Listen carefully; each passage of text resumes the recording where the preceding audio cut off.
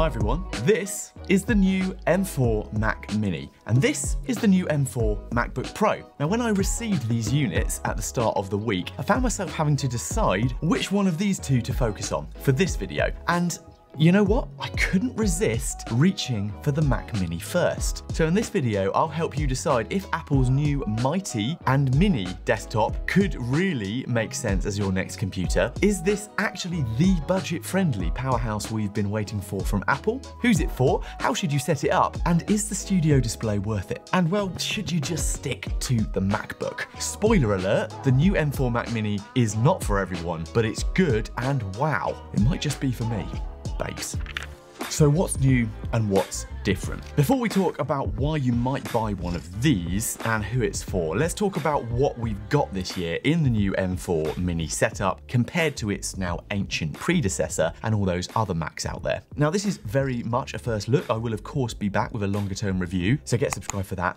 But here are the headlines. So we have to start with size. This Mini is truly living up to its name. Compact, minimalist, and remarkably small. It's 5 by 5 inches or 12.7 centimeters squared, so it's less than half the size of the previous design from back in the day. Now, more than ever, as it's significantly smaller than that previous design, it looks super cool next to the Apple Studio display. More on that later. But I reckon mounting this to a desk or hiding it in a desk shelf is a real benefit for a sleek setup. Now, there is one detail that might cause a bit of controversy. The power button for the iMac is on the bottom. That does seem like a really foolish move. But let's be honest, I don't think I've barely ever turned my MacBook on or off with the power button very often each year. I just leave it in standby and keep it charged. So maybe they thought it through.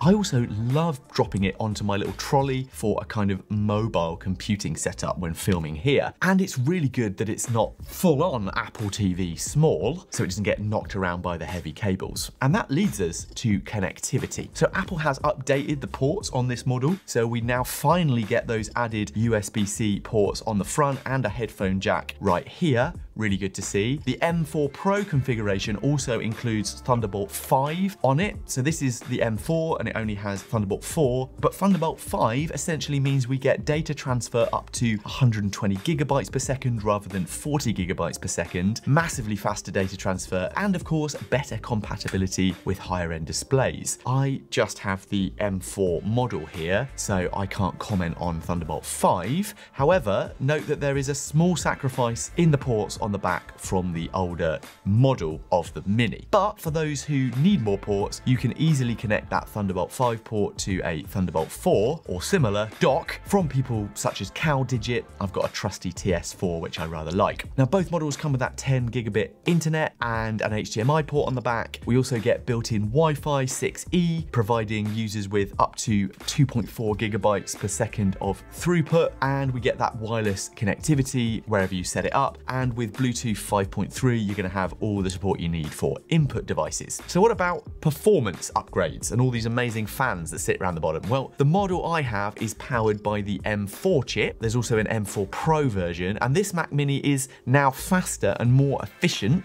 by a long way. Two more CPU cores from M2, and memory-wise, we get a base of 16 gigabytes, but I would be tempted to go up to the 32 gigabyte upgrade to future-proof it. Okay, performance, Apple do seem to focus on comparing to the M1. Maybe the stats are more impressive, but hey, here are a couple of charts that might give you some context across the different areas, and you can see how far this really is ahead now from the M1 and from definitely from that Intel Mac Mini before it. Now, with that in mind, compared to M1, we get up to 1.8 times faster CPU, a 2.2 times faster GPU, and perhaps most significantly in these M4s, a three times faster neural engine than M1. All good news for creative tasks and workflows. Now it's early days for me using this, but it feels as happy editing 4K video as my M1 Max, and Apple boasts the M4 chip has a more advanced media engine that supports hardware acceleration, lets you work on multiple streams streams of the highest quality content, and even that 4K 120 footage from my iPhone 16 Pro is now managed really easily. And if you jump to the M4 Pro chip, you'll go up to a 14 core CPU and 20 core GPU, and you can go up to 64 gigabytes of physical memory, essentially giving you 2x the bandwidth of the M4 chip. A simple way to frame all of this is like, let's say you wanted to edit multiple streams of 4K or 8K video, or do like 3D serious rendering, then I think the Pro chip is for you. If you don't know why you need it, don't bother, go for the M4, it's still super powerful. But more on those choices a bit later. Now there's a lot to be excited about in terms of speed and multitasking power, and one of those key focuses of the M4 update across the board with Apple is the new Neural Engine capabilities. Now these Macs are designed to support on-device Apple Intelligence features. It's just that a lot of us don't have full access to it yet. Now, running on the latest macOS Sequoia, it does support the new Apple Intelligence Suite, in the system. And with tools like Enhanced Siri, writing tools, natural language, search in photos, and more intelligent summaries in apps like Mail and Notes, it's really worthwhile. I also love that there's a new focus mode called Reduce Interruptions, which understands the content of your notifications and then surfaces the selective bits of urgent stuff. Very cool. Remains to see how well it all works. We will have to wait in the UK and Canada, places like that, until December to access some of this, and into 2025 for Europe and other countries. Let me know what you think about Apple Intelligence in the comments. Now look, that's all pretty impressive, but we still have to understand why you might choose this rather than a MacBook.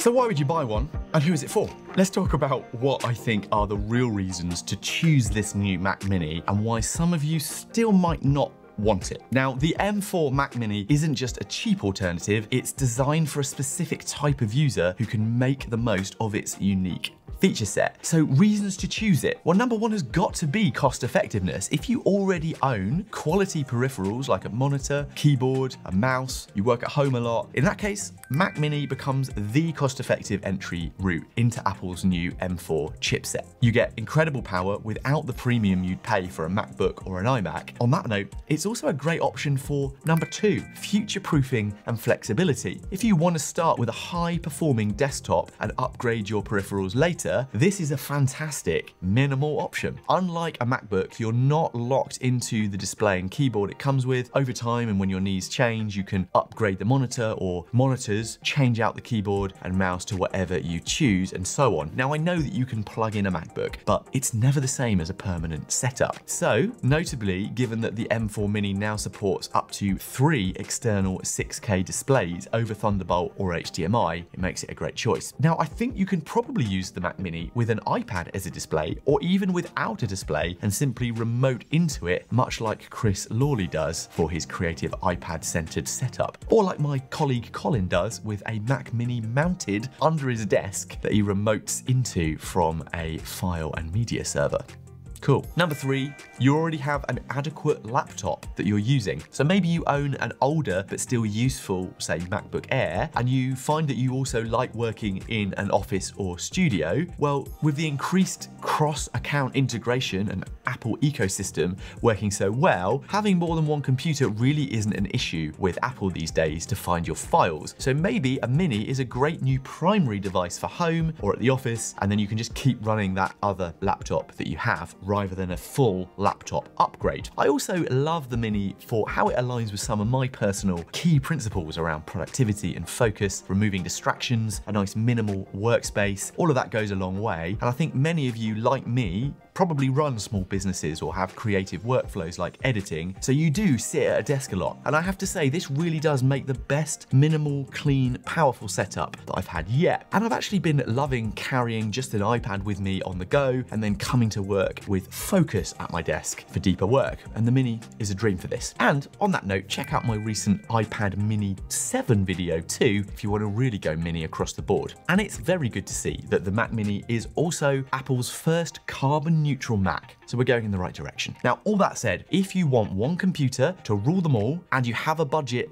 for that setup, then maybe the MacBook does make more sense. And investing in one of these new M4 MacBook Pros with the ports and connectivity, that new nano texture screen could be your best bet. But hey, you know what you should do? Get subscribed here and come back and I'll show you more about the M4 MacBook in a review very soon. Okay, so it looks great and seems super good value for M4 power, but we still have one big question to ask. If you did join the Mini Brigade, what spec should you go for? And not to mention, what peripherals are you gonna use with it? Let's make some decisions, including whether that lovely studio display is really worth it. If you are a general user who wants fast desktop performance, the base M4 is just great. I might bump the memory to 32 gigabytes to be safe and aim maybe at the 512 gigabyte SSD, which came with this one, since you can always plug in external drives like this tiny X9 Pro from Crucial, for example. And for creatives and professionals who need that extra power for tasks like, say, video editing, 3D rendering, the M4 Pro adds noticeable speed without blowing your budget. So I jump to that only if you know you need it. So what about displays? Now, Apple's Studio display pairs beautifully with the Mac Mini and offers that sleek, high-res Apple aesthetic. Honestly though, it's expensive. But when I got it in the studio, I did love it. Mac screens just do design beautifully and wow, that price tag. Yeah, I might still be convinced, but definitely if you are on a budget, there are great alternatives from BenQ, Samsung and LG that provide similar resolution and quality for a lot less. BenQ even make a Mac specific monitor like the MA320U. And I actually have here one of the PD lineups, which I think look really good with Mac. I'll link it in the description below if you want to see. And those allow some of the same keyboard integrations for brightness and audio if you go for BenQ, just like that native Apple monitor. Now, peripheral choices, I personally love pairing the Mac Mini with my Keychron Q2 Max mechanical keyboard and the Logitech Lift mouse. As you can see at my filming desk, it's rather customized, a tactile setup. However, if you prefer Apple's ecosystem, their Magic Keyboard, Magic Trackpad, and Magic Mouse are solid choices. Plus, they now have USB-C variants, though yes, the mouse still charges on the bottom. But then again, you only need to charge it every couple of months, so who's counting? So is the M4 Mac Mini worth it for you? And is it really a budget-friendly option? Now, if you're after a budget-friendly desktop that doesn't compromise on power, this little Mac Mini is probably exactly what you're looking for. I think this computer is a great choice and a real step forward in design. And who's it for? Well, this is probably a computer for people like me power users who are also a little budget conscious on their upgrades, creators, editors, people who like to keep their computing at work, not take it on the go and keep the rest of their lives separate, and well, people who just like good design. It's pretty. Let me know which model you would go for in the comments or if you'd go for something different. Now, I'll be back with a full review on that note of the M4 MacBook Pro very soon and some other great tech and productivity stuff. But there is one more thing. Unless you know the best apps and accessories to use with any Mac computer, you might always stay stuck at email and Netflix. Right? Well, I recommend watching one of these videos next, and we'll get you leveling up in no time. It's a terrible phrase, but appropriate. Hit my face to subscribe, make sure you hit the like button while you're down there, and I'll see you on the next one. See ya.